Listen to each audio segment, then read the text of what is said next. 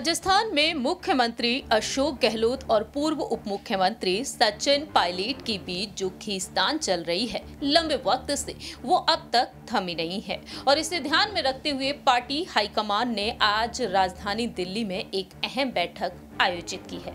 दरअसल आपको बता दें कि उप मुख्यमंत्री रहे सचिन पायलट बार बार अपनी नाराज़गी को ज़ाहिर करते हुए नज़र आए हैं। उन्होंने मोर्चा खोल दिया और खुद की ही सरकार को अल्टीमेटम तक दे दिया।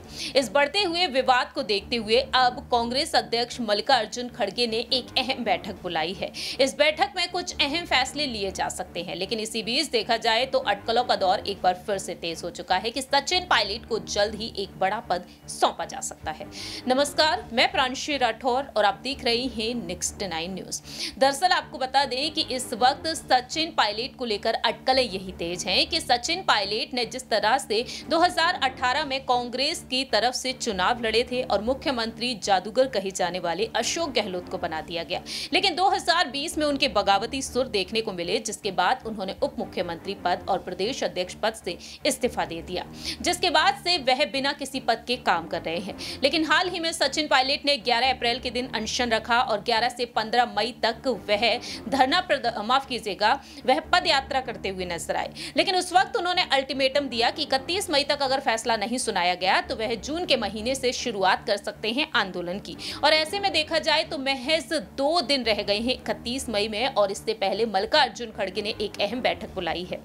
दावे ये किए जा रहे हैं कि सचिन पायलट को प्रस्ताव दिए गए हैं कुछ। और इन प्रस्तावों में यहाँ पर यह कहा गया है कि उन्हें महासचिव बनाया जा सकता है या फिर प्रदेश अध्यक्ष की कमान उन्हें सौंपी जा सकती है। तो फ़िलहाल देखा जाए, दिल्ली की अहम बैठक में कुछ अहम फैसले लिए जा सकते हैं। अब तक इन पर स्थिति साफ़ नहीं हुई है। इसी बीच देखा जाए तो सचिन पायलट को लेकर यह भी कहा जा रहा है कि प्रदेश अध्यक्ष पद उन्हें सौंपा जा सकता है और अशोक गहलोत के चेहरे पर एक बार फिर से चुनाव लड़े जा सकते हैं। दरअसल आपको बता दें कि लंबे समय से खुद को सीएम बनाने की मांग कर रहे हैं पायलट और सूत्रों के मुताबिक ये कहा जा रहा है कि पार्टी ने गहलोत के नेतृत्व में ही अगला विधानसभा चुनाव लड़ने का मन लगभग बना लिया है। ऐसे में सवाल ये है, क्या सचिन पायलट मान जाएँगे कि या फिर पार्टी से उनकी राहें अलग हो जाएँगी? दावे यही किए जा रहे हैं कि वह पार्टी से अलग हो जाएँगे, अपनी पार्टी का गठन करेंगे या फिर बीजेपी की तरफ़ उनका रुख देखने को मिल सकता है।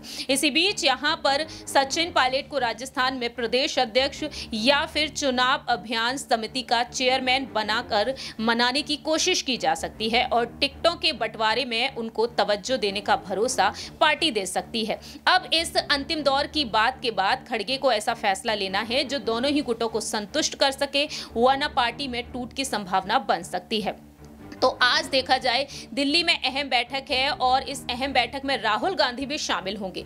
देखते हैं क्या वाकई में यहाँ पर सचिन पायलट को प्रदेश अध्यक्ष पद सौंपा जाएगा, क्योंकि अशोक गहलोत का यही मानना है कि उप मुख्यमंत्री पद पर अब गोविंद सिंह डोटासरा को होना चाहिए। तो अशोक गहलोत ने यहाँ पर ये बातें रखी हैं और अशोक गहलोत को फ्री हैंड छोड़ दिया जाएगा, जिससे वह उप मुख्यमंत्री पद की दावेदारी के लिए नेताओं को चुन सकें। तो गोविंद सिंह डोटासरा का नाम सबसे आगे है और ऐसे में गोविंद सिंह डोटासरा, जो आज के समय में राजस्थान के प्रदेश अध्यक्ष हैं, पीसीसी हैं तो उन्हें इस पद से हटाकर सचिन पायलट को लाया जा सकता है और यही कुछ शर्तें रखी गई। देखते हैं कि क्या वाकई में यहाँ पर सचिन पायलट की शर्तों को माना जाएगा और उन्हें प्रदेश अध्यक्ष पद सौंपा जाएगा या फिर मुख्यमंत्री पद। लेकिन आपकी क्या कुछ राय प्रतिक्रिया है, ये आप कॉमेंट सेक्शन में बता सकते हैं। तब तक के लिए आप देखते रहिए नेक्स्ट नाइन न्यूज़।